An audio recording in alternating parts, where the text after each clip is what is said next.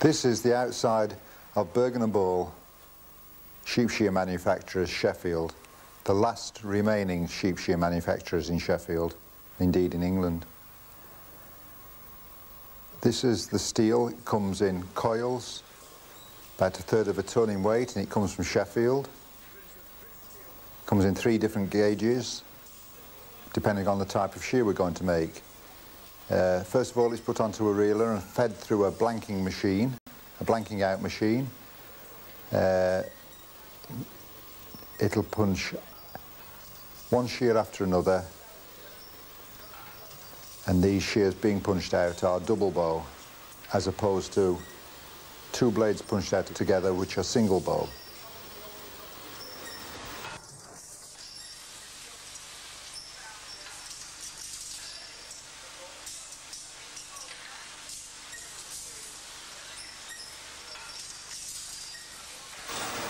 After punching out, they go into a furnace and the bow is formed. The shears are rolled to a length and a thickness.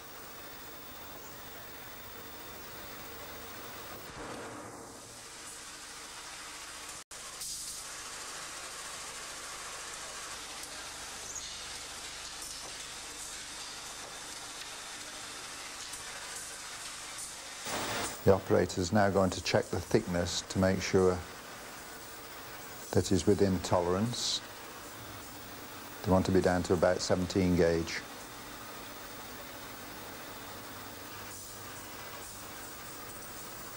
He then throws them onto the floor haphazardly so that they don't kneel. In other words, they don't soften. After they've cooled, they're taken onto a cropping machine and cut down to the, the right size for the pattern of shear which is going through. This is called cropping and it'll crop everyone to the same size, to the same length. After cropping, we need to put two holes in them so they can put to, be put together later on. It's essential that these holes are spot on Otherwise, they won't marry up at the end of the job.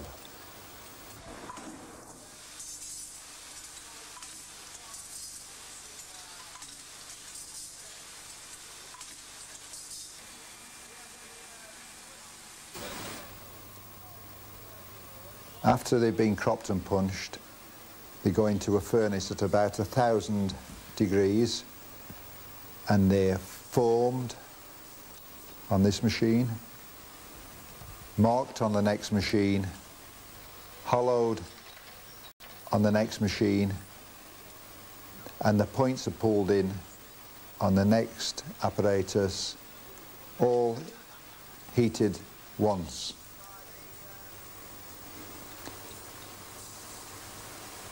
Here, that's forming, marking, hollowing, and pulling the points in and generally straightening the shear up.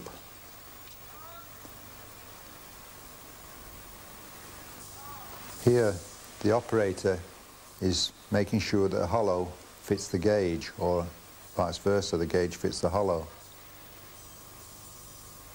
If he's satisfied, he'll carry on, but he'll do this test about every three dozen blades.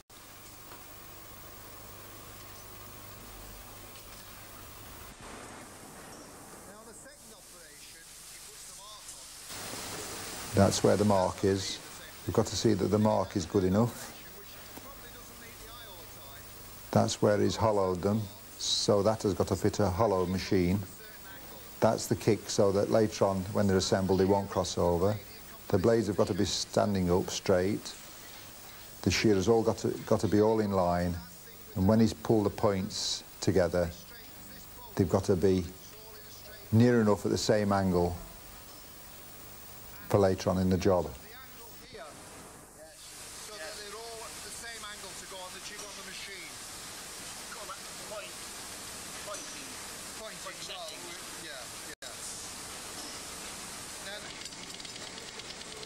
The next job is setting. The shear is still soft so we set an edge on while it's soft. In other words, we just clean the face up of that cutting edge.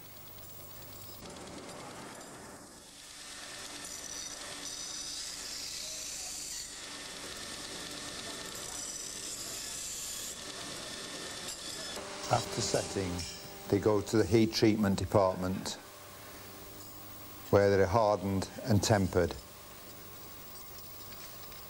Now they go into a furnace at 850 degrees and they're heated for about seven minutes and then they're quenched in whale oil or whale type oil as we use now. It used to be whale oil from the sperm whale's head, but now we're environmental friendly and we use whale type oil.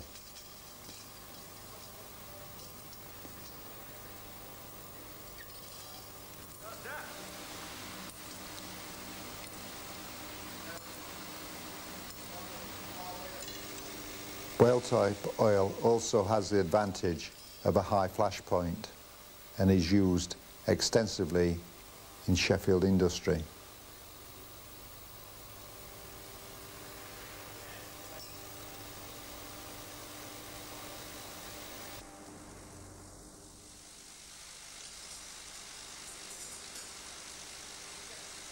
After they've been quenched, they're then cleaned off, ready for the next operation, which is tempering.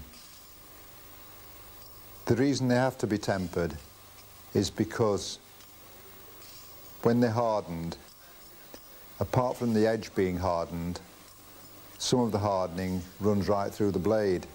Consequently, the blade would break. They're tempered at a temperature of 235 degrees for about five minutes, depending on the size of the shear and the width of the blade.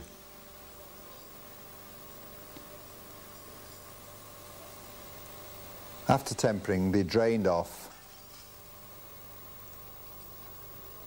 And then when the salts have drained off them, they're then washed in a solution of boiling water and industrial soda.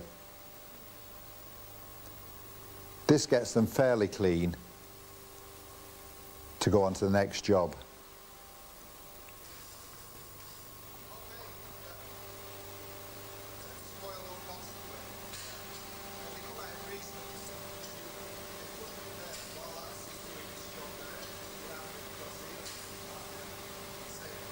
There we see some salts remaining on that have got to be washed off.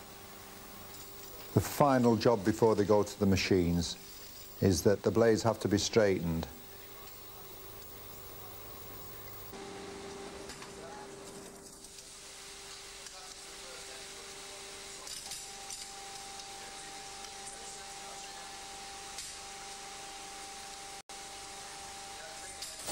Now this machine is a hollow grinding machine and it grinds the inside blades which, which have been hollow formed previously.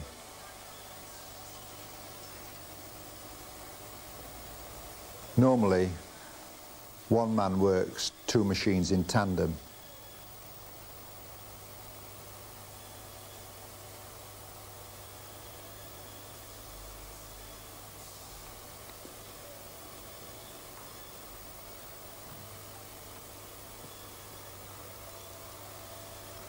Yes, the operator is having a quick glance at the shear to see that the finish is as required.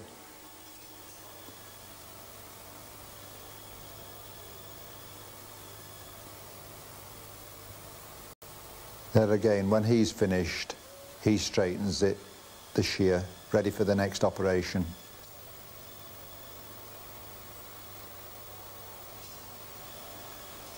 After inside grinding, they're taken down to a, a bosh in the warehouse and they're boiled up in a solution of water and grinding fluid. Then they're taken into the warehouse, cleaned off, ready for inspection.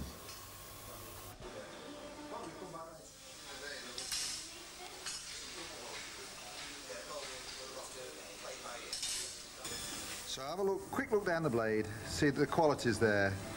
There's no the blade hasn't moved on the jig, and if it did, it would be no good because it wouldn't cut then. Right. So then I have a quick look at the thickness and a quick look at the back, because if the back's too thin, we'll not get the strength in the blade. Right. You can always test them like that. And if they look okay, whip it round to the other end, have a look at the other end. That's the same, that's okay. And I can put it on there. If they're not up to standard here, they're thrown out because it's pointless letting them go any further and then throwing them out later.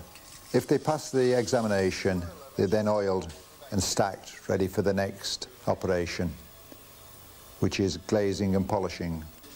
The glazer does the shank, the top, the lap, and the back of the blades.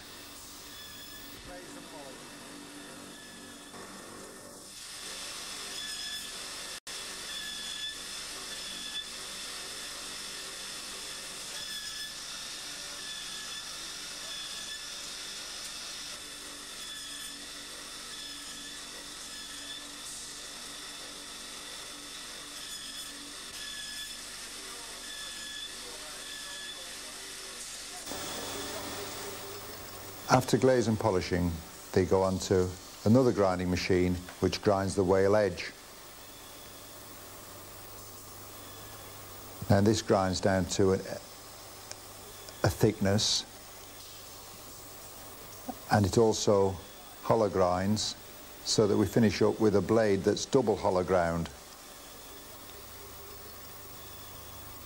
The thickness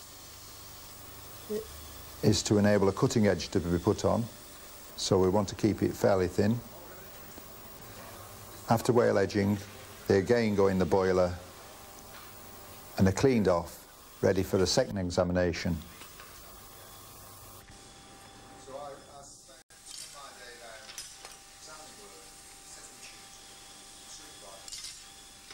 Now we're looking at the width of the whale edge, the shape of the whale edge, we're looking at the quality of the glaze, the quality of the mark. We're looking at the shanks as well, see that they're not burnt.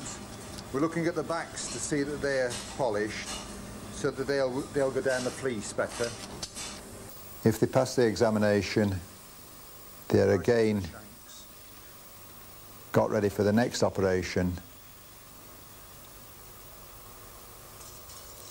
by oiling and stacking. Now these that are being oiled now are single bows, i.e. two blades on one shear.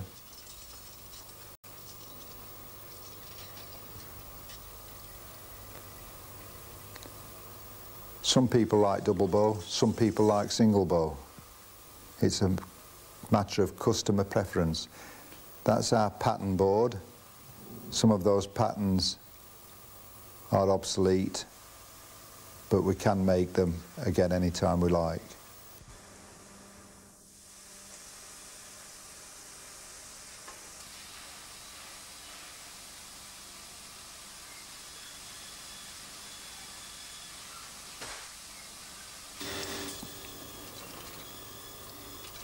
After stacking, they'll be picked up by the benders for the last operation.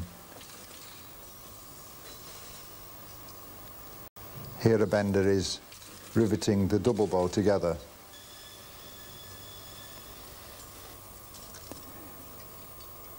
Here the bender is forming the bow. We call this pulling round.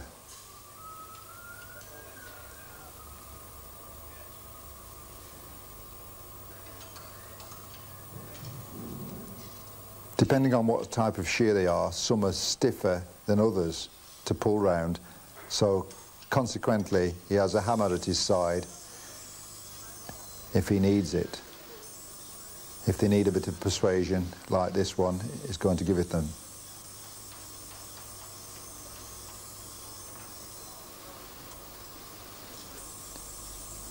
That shows you how much wears on the hammer. It's taken years to get like that. The second part of forming the bow is with a vice again. And every man forms his own shape bow. No two men work alike.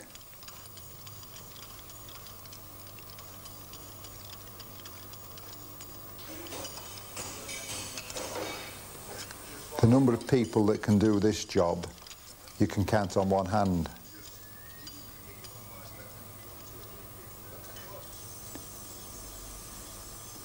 Now he's knocking each shank down, each bow, side of the bow down. Now he's lifting the blades. Now he's pulling the points in.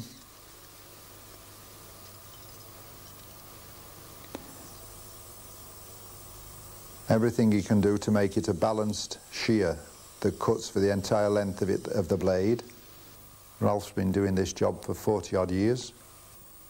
A lot of the jobs he's doing now, he's doing them by feel. They're not always apparent to the eye.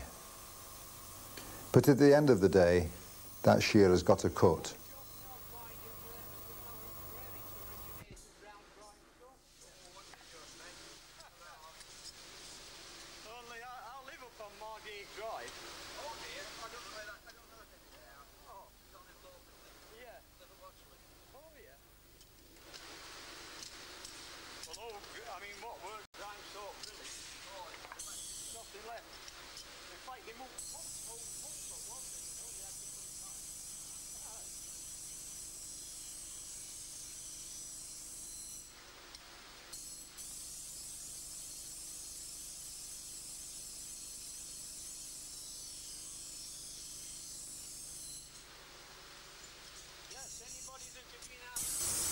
Here he's taking them onto the stone and he's putting the cutting edge on. Now when he puts the cutting edge on, he, he stones it until he sees the fash come up at the back of the blade. If you look, you might see the fash, dark blue fash. And then, after both blades have got the fash up, he cuts the fash off making sure that it doesn't cut into the edge of the blade. And just see the fash coming up on the back. There on that one as well. And he's cutting the fash off slowly without digging in. Now he's wet, what we call wetting the blade off. That's putting a smooth edge on it with a very hard stone the stone is Arkansas stone from the United States.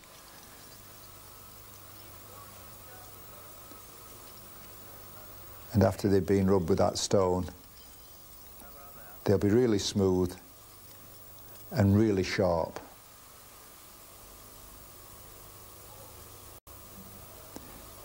This is the other type of sheep shear, single bow sheep shear.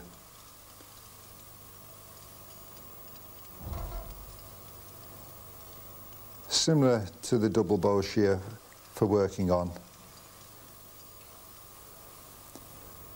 Just a matter of customer preference whether you choose double bow or single bow.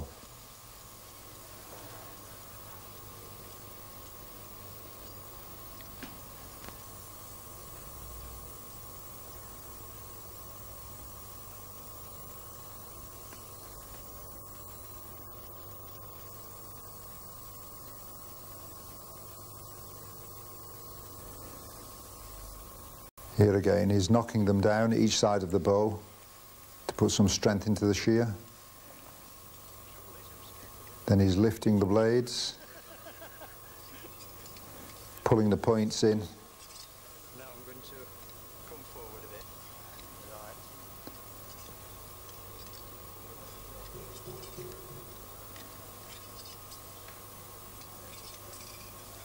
Setting the blades.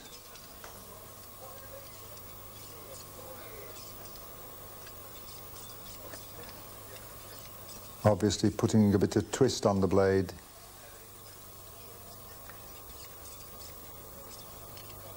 Springing it. Making sure it's balanced. After bending, we go to the warehouse. The warehouse lady oils them wraps them and puts them in boxes.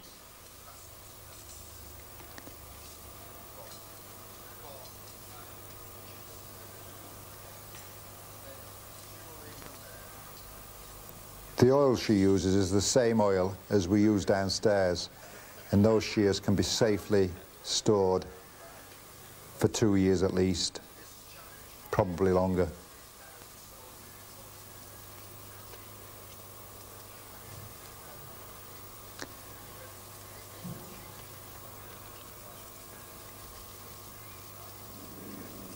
Six in a box and then they go into a packing case.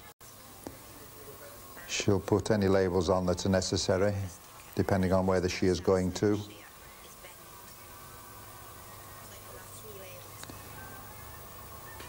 That's some of our stock, which goes all over the world.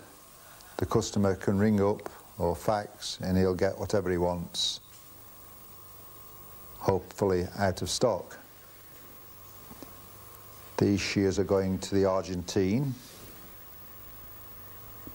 These are going to Scotland.